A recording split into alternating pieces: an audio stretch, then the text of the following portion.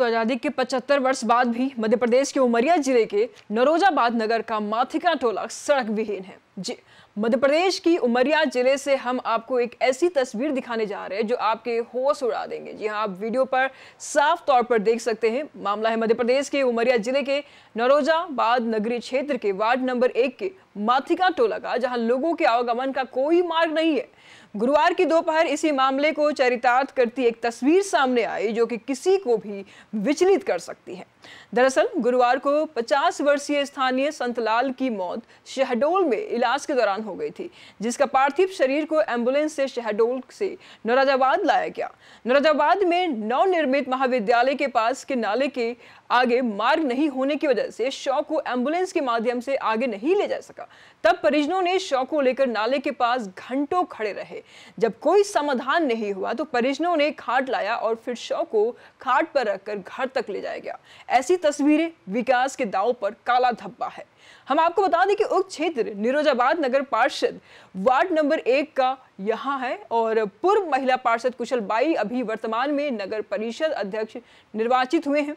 खास बात यह है कि इस मामले में कुशल बाई ने भी पार्षद कार्यालय में सड़क निर्माण को लेकर आवेदन देने की बात कही है और कहा है कि आवेदन देने के बाद भी यहाँ सड़क और नाले का निर्माण नहीं हो सका है। आप देखना ये होगा कि कुशल बाई इस बार स्वयं अध्यक्ष है तो क्या इनके द्वारा सड़क और पल का निर्माण, पुल का निर्माण आखिर कब तक करवाया जाता है?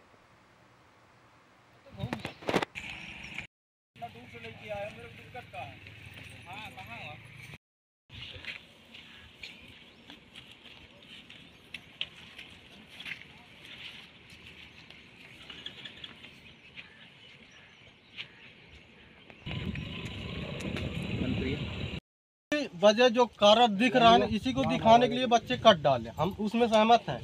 उसमें राजनीति की कोई सवाल नहीं है। जो आज हमारी परेशानी दिख रहा है वो चीज़ हम आके दिखा रहे हैं बस यही हमारा मतलब अभी काम हो आपका ऐसा नहीं है अभी ये बताओ अभी तक तो कहते हैं कि तत्काल काम तो हो ना जाएगा कि अब बिन काम लगे मैं चाहता हूँ कि यहाँ मेरे को जन्म पैंतीस साल हो गया है होते हुए।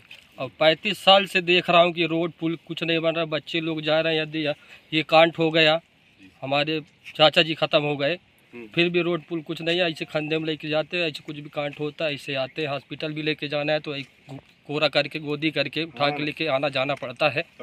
समस्या यही है सरकार सोचे नगर पालिका सोचे कलेक्टर महोदय सोचे कि रोड बनवाए और समस्या को देखे हमारे कष्ट को।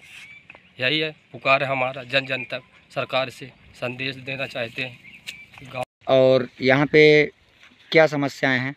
समस्या यहाँ पे है कि रोड लाइट कुछ भी रोड का सुविधा नहीं है नदी नाला आ जाता है जाने के लिए प्रॉब्लम आने जाने के लिए वार्ड नंबर एक में।